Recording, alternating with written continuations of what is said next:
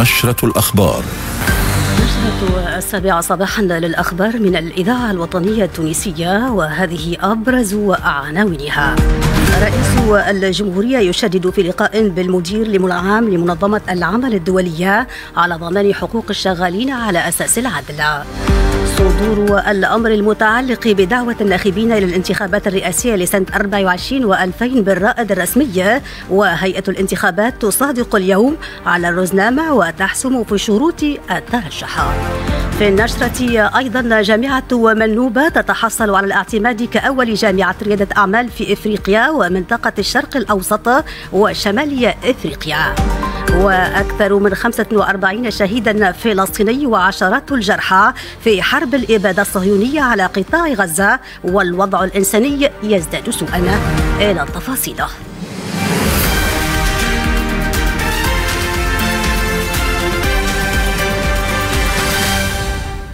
مستمعينا متابعينا أينما كنتم أسعد الله أوقاتكم وأهلا بكم. إلى تفاصيل هذه النشرة. أكد رئيس الدولة قيس سعيد في لقاء جمعه ظهر أمس بقصر قرطاج بالمدير العام لمنظمة العمل الدولية على أننا اليوم في تونس وفي العالم بأسره نتطلع إلى الحق في الشغل وإلى ضمان حقوق الشغالين على أساس العدل. وأشاد رئيس الدولة في هذا الإطار بمبادرة المدير العام للمنظمة بإنشاء ائتلاف عالمي من أجل العدالة الاجتماعية مؤكدا أن العالم اليوم في حاجة إلى مثل هذه المبادرات وإلى فكر جديد لرفع التحديات التي تواجهها الإنسانية والجماعة. وفي خبر آخر صدر أمس بالرائد الرسمي للجمهورية التونسية الأمر عدد 403 المؤرخ الثاني من جويليا 2024 والمتعلق بدعوة الناخبين إلى الانتخابات الرئاسية لسنة 24 و2000 ويتضمن الفصل الأول من هذا الأمر دعوة الناخبين داخل الجمهورية التونسية للانتخابات الرئاسية يوم الأحد السادس من أكتوبر وبالنسبة إلى الناخبين التونسيين بالخارج أيام أيام الجمعة والسبت والأحد الرابع والخامس والسادس من أكتوبر 2024 هذا وأعلن الناطق الرسمي باسم الهيئة العليا المستقلة للانتخابات محمد تليلي المصري أن فتح باب إيداع الترشحات للانتخابات الرئاسية سيكون مبدئيا بين أواخر جويليا الجاري وبداية شهر أوت المقبل. وأضاف المنصري أن الهيئة ستنشر الرزنامة الانتخابية التي سيصادق عليها مجلس مجلس الهيئة في اجتماعه المبرمج اليوم الخميس. تو حاليا أصبح رسمي وأنه موعد الانتخابات 6 أكتوبر 5 أي. أكتوبر باش يكون الصمت الانتخابي. قبل ب 21 يوم يعني الانطلاق نتاع الحملة باش يكون 13 سبتمبر. في بداية شهر أوت أواخر شهر جويليا باش تنطلق فترة تقديم الترشحات والنزاعات نتاعها وفي نفس الوقت مجلس الهيئة باش يصادق كذلك على القرار الترتيبي المتعلق بشروط الترشح للانتخابات الرئاسية. أربعة وخمسة وستة بداية الانتخابات خارج على خاطر الخارج تجرى على ثلاثة أيام. يوم الصمت الانتخابي 5 أكتوبر قانون الانتخابي هو بيدو تاع 2014 2019 لن يتغير فقط باش تتم ملائمة شروط جديدة واردة بالدستور اللي هي معروفة وعلنا عليها. وفي انتظار تنقيح القرار الترتيبي المتعلق بالترشح للانتخابات الرئاسية يتواصل الجدل بخصوص شروط الترشح لهذه الانتخابات والتساؤل حول التنقيحات المنتظرة. أحلام القاسمي وقراءة في الموضوع. بين دستور 2022 والقانون الانتخابي لسنة 2014 القانون الانتخابي المعتمد حاليا تتحدد شروط الترشح للانتخابات الرئاسية في انتظار التنقيحات المنتظرة وفق ما يوضحه الخبير في الحوكمة المحلية محمد الضيفي. في القانون الانتخابي لسنة 2014 أهم شرط من شروط الترشح هو أن يكون المترشح ناخبا. وكذلك في القانون الانتخابي الذي لم يتغير والذي سيقع تطبيقه حاليا. لكن في دستور 2022 2020 عوض كلمة أن يكون ناخبا بأن تتوفر لدى المترشح شروط الحقوق المدنية والسياسية. لكن لم يقع ضبطها بدقة لكن بالرجوع إلى القانون الانتخابي وخاصة الفصل الخامس جديد الحقوق المدنية والسياسية تتمثل في أولا عدم صدور حكم تكميلي يمنع المترشح من حق الانتخاب ثانيا أن لا يكون من المحظور عليهم. سابقا شرط المحظور عليهم كان يتمثل فقط في الجنون المطبق. لكن في المرسوم 55 اللي نقح القانون الانتخابي ذكر بصفة جملية أن لا يكون من المحجور عليهم وبالتالي يعني توسع في هذا الشرط وهذا هو الذي ربما يثير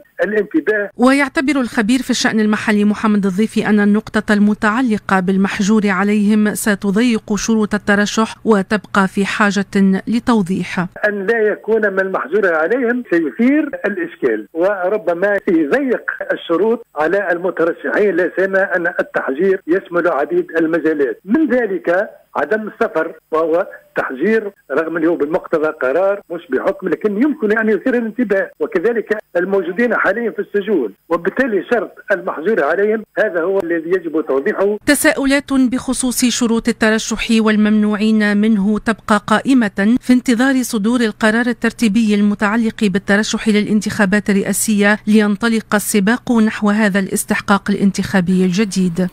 في شأن آخر صدق أعضاء المجلس الوطني للجهات والأقاليم أمس على مشروع قانون النظام الداخلي للمجلس برمته ب 74 صوتا. ويدخل النظام الداخلي حيز النفاذ وفق ما ينص عليه الفصل 158 منه بداية من تاريخ المصادقة عليه ونشره بالرائد الرسمي للجمهورية التونسية.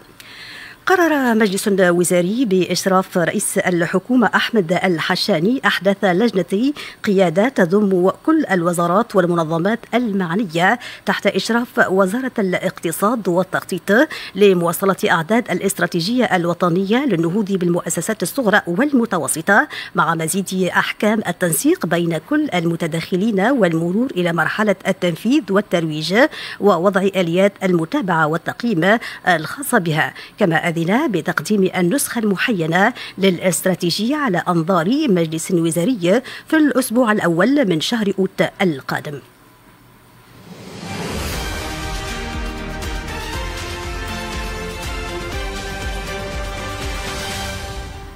تحصلت جامعة منوب أمس على الاعتماد من قبل المركز الوطني البريطاني لريادة الأعمال في التعليم والاقتصاد كأول جامعة ريادة أعمال في إفريقيا ومنطقة الشرق الأوسط وشمالي إفريقيا الذي يصنفها كجامعة مبتكرة وإبداعية. وهذا الاعتماد تحصلت عليه جامعة منوبة لمدة ثلاث سنوات ومن شأنه أن يسمح لها بتبادل التجارب والابتكارات والتعاون في مجال التعليم العالي مع الشبكة الدولية للجامعات الرائدة وفق رئيسة الجامعة جهينة غريب.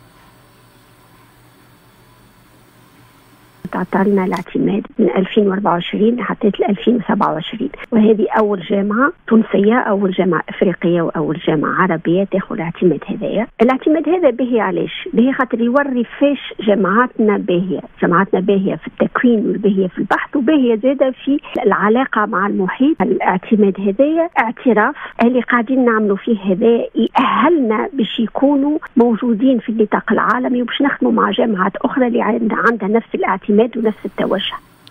في خبر آخر أفادت الناطقة الرسمية باسم المعلمين النواب وفاد لنسي بأن أغلب المندوبيات ترفض مد المعلمين النواب بشهائد الخدمات من أجل التثبت من فتراتها النيابية ودعت وزارة أو وزارة التربية إلى التدخل العاجل قبل فوات الأجال. أجال تحيين البيانات التي تنتهي يوم السادس من جويليا بالنسبة إلى المندوبيات بينما انتهت يوم أمس بالنسبة إلى الموقع.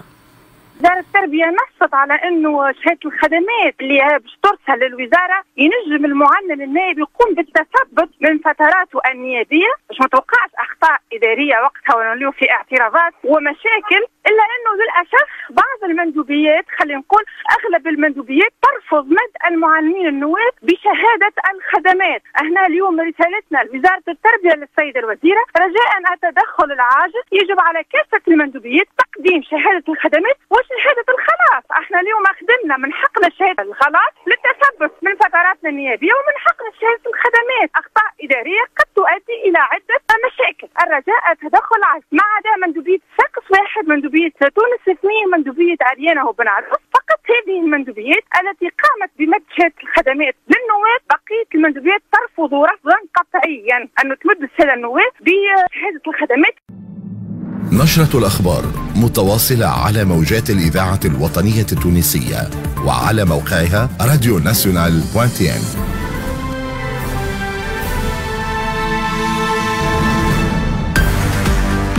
نذهب إلى فلسطين المحتلة وفي تطورات الأوضاع في غزة ومع دخول العدوان على القطاع يومه الثاني والسبعين بعد المئتين.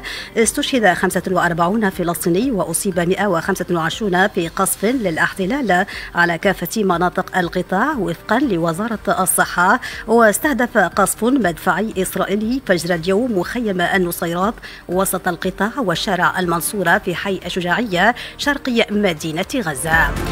في الأثناء أعلنت كتائب القسام تدمير دبابتين برفح وقصف قوات الاحتلال بحي الشجاعية وأعلنت سرايا القدس أنها دمرت دبابة وجرافة للاحتلال برفح.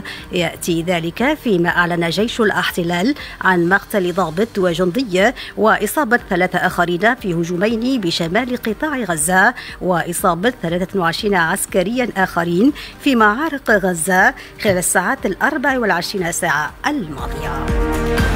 وإنسانيا يزداد الوضع تدهورا في جباليا بقطاع غزة بسبب نقص الغذاء والماء جراء منع الاحتلال الإسرائيلي إدخال المساعدات الإنسانية إلى مناطق شمال القطاع. وكانت وكالة غوث وتشغيل اللاجئين الفلسطينيين الأونر وقالت إن 250 ألف شخص مضطرون إلى النزوح من مدينة خان يونس رغم عدم وجود أي مكان آمن في قطاع غزة. سياسيا قال مكتب رئيس وزراء الكيان الإسرائيلي بنيامين نتنياهو إنه سيدرس رد حماس وسيرد على الوسطاء خلال اجتماع اليوم الخميس لبحث رد حماس على مقترح صفقة التبادل. واكتفت حركة حماس بالتعليق بأنها تبادلت بعض الأفكار مع الوسطاء بهدف وقف العدوان على الشعب الفلسطيني وأنها تعاملت بروح إيجابية مع فحوى المداولات الجارية. نقطة نهاية هذا الموعد الإخباري المفصل. نعود مستمعينا متابعينا الكرام ونجيزه لكم في عناوين. رئيس الجمهورية يشدد في لقاء بالمدير العام لمنظمة العمل الدولية على ضمان حقوق الشغالين على أساس العدل. صدور الأمر المتعلق بدعوة الناخبين إلى الانتخابات الرئاسية لسنة 24 و2000 بالرائد الرسمي وهيئة الانتخابات تصادق اليوم على الرزنامة وتحسم في شروط الترشح. جامعة منوبة تتحصل على الاعتماد كأول جامعة ريادة أعمال في إفريقيا ومنطقة الشرق الأوسط وشمال إفريقيا. وأكثر من 45 شهيدا فلسطينيا وعشرات الجرحى في حرب الإبادة الصهيونية على قطاع غزة والوضع الإنساني يزداد سوءا. أجمل تحيات كوثر عرقوبي إلى اللقاء.